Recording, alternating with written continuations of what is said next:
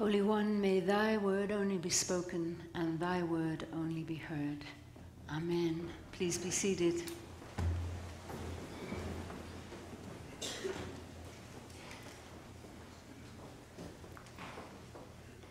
In between all the games that have been going on this weekend, I wonder if any of you, like me, have been watching Pope Francis, glued, in fact, to the TV. This extraordinary opportunity for a man, a Christian man, to address world leaders and politicians, and so many children and women and men, some who waited patiently for hours to catch a glimpse of him, to hear him speak and perhaps even to be blessed by him. And I wonder if you marveled at the unprecedented security measures taken to protect him. More, even, it was said by one than our own president. And I wonder too what struck you as you watched. What did you see and hear? Several images come to my mind. One of the Holy Father stopping the heavily secured convoy on their way back or forth from the airport to step out of his Fiat and kiss a severely disabled child who was on the side of the road with his family. Another of his waving the security guards to bring a small baby to him. And passages of scripture came to my mind. Let the little children come to me and do not hinder them, for the kingdom of heaven belongs to such as these. And if I could but just touch his garment, I would be healed. Now, of course, Pope Francis is not our Lord and Savior neither the security detail his disciples, though in a moment of fancy I found myself imagining if the way that the disciples would worry about what is Jesus going to do next could be similar perhaps to how some of the security might view a sudden and unscheduled stop on the side of a highway so that the Pope could bless a child. The Pope is not God, but he is made in the image of God and carries the power of the Holy Spirit within him. Dear friends, you and I, and all people, are made in the image of God. And when we accept Christ in our lives, we carry the power of the Holy Spirit within us. Jesus told his disciples as he prepared to leave them that when he ascended, they would not be alone, they would not be orphaned. The Holy Spirit, whom the Father will send in my name, will teach you everything and remind you of all that I've said to you. And very truly, I tell you, the one who believes in me will also do the works that I do. In fact, will do greater works than these. In the reading from St. James that we heard, St. James writes of the prayer of the righteous as powerful and effective. And he adds that Elijah, the prophet who prayed for rain and prayed for rain to stop, was a human being just like us. Pope Francis is a human being like us. And even our Lord Jesus Christ came to walk on this earth as a human being, that we might encounter God, albeit a human without sin being also the God who created us and loved us and urges us to pray in his name. Seven times prayer is mentioned in that brief passage from James prayer for the sick, prayer for the suffering, prayer to be forgiven, in community with our sisters and brothers.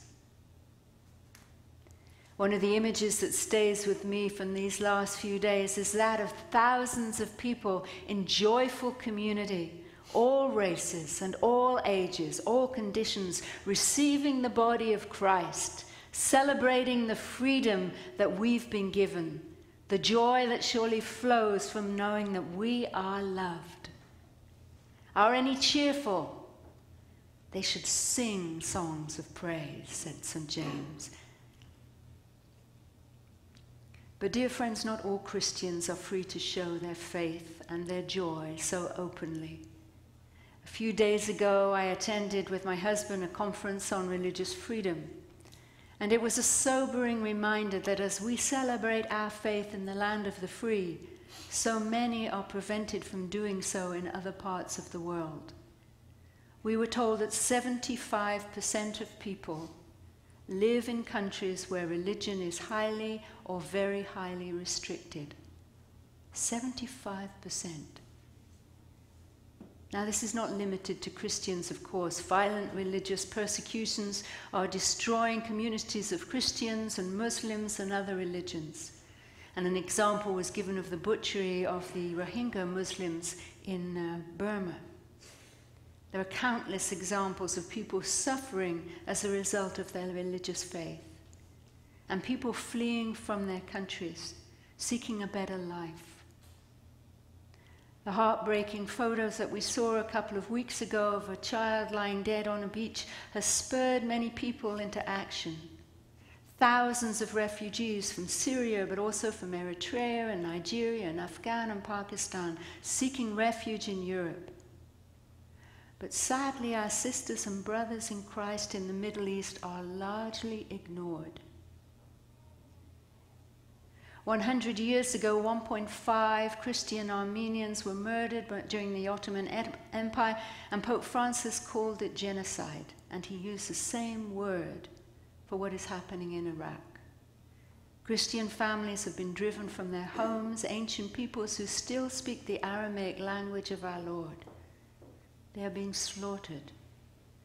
They will likely never return to their land.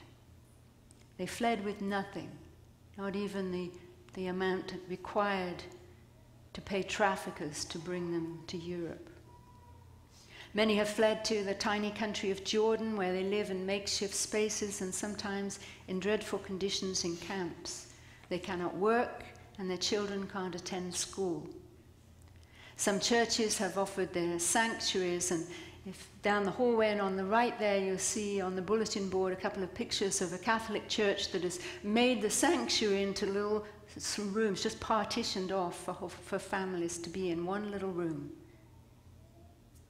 Canon Andrew White, who I've mentioned before, is working hard to provide schools for some of the children. And many of them can't even go to UN camps because, like the Yazidis and other religious minorities, they are targeted even within the camps. At this conference, there was a dignified list of speakers, and regardless of where you are on the right and left in the political forum, one of the very passionate speakers is uh, retired Senator Frank Wolf, now chair of religion at Baylor University. He has spoken tirelessly about religious freedom and has been to many of the places um, of conflict, so he knows of what he speaks. And he said to us, We need to hear the voice of the church. We need to hear the voice of the church. Archbishop of Baltimore said, Religious freedom will only matter if religion matters, if we believe that God is great, that God is worthy to be praised. And also, human nature has dignity by the very fact that we are made in the image of God. Each person matters because we are made in the image of God. Pope Francis spoke about that dignity. He spoke about seeing people as individuals, about listening to their stories, because we are made in God's image. Christians are being massacred and crucified, and children brutally and mercilessly killed, young women enslaved and raped, and we are horrified rightfully. But too often, the church in the Western world stays silent. Martin Luther King famously wrote In the end, we will remember not the words of our enemies, but the silence of our friends. And recall in Exodus, then the Lord said to Moses, Go to Pharaoh and say to him, This is what the Lord, the God of Hebrews, says Let my people go so that they may worship me. Moses was very reluctant to speak. It's hard sometimes to know what to do. But Frank Wolf reminded us that unless people speak out to our leaders, to our government, they are not going to respond. And so now is the time for us to speak out. Now is the time for us to pray and to pray and to pray. Prayer, in particular, was stressed by two Syrian refugees who were at that conference. They spoke of the evil being done in the name of religion. And sadly, we know that evil has been done in the name of all religions, including, sadly, Christianity. But it doesn't negate what we are called to do now. Those refugees had to have their identities hidden. And they spoke of sending their children to school one morning and then hearing mortars raining down on the place where the children were. Their children were not killed, but many were.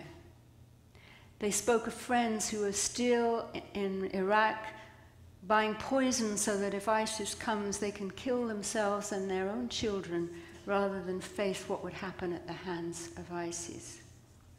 They spoke of embassies closing their doors. But the mother who was there spoke passionately about her faith.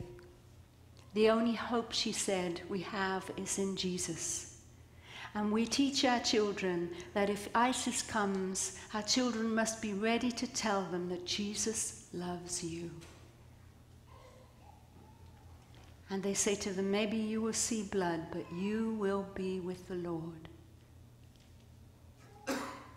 She told us our blood is shouting from the land and begged us to fast and to pray for them and with them. Canon Andrew White's organization, FRRME, is working tirelessly to help.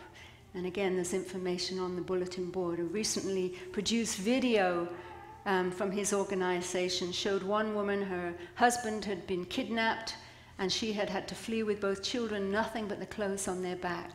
She spoke of feeling so helpless that she wanted to die. Her faith was seemed that it was waning. And then one day, one Sunday, someone invited her to come with her to church. And there she experienced again the love of Jesus, was touched by the Holy Spirit, was reminded of the hope that we all have in Christ. You saw the joy on her face, even in the midst of terrible circumstances. It is a hope that we all have as Christians.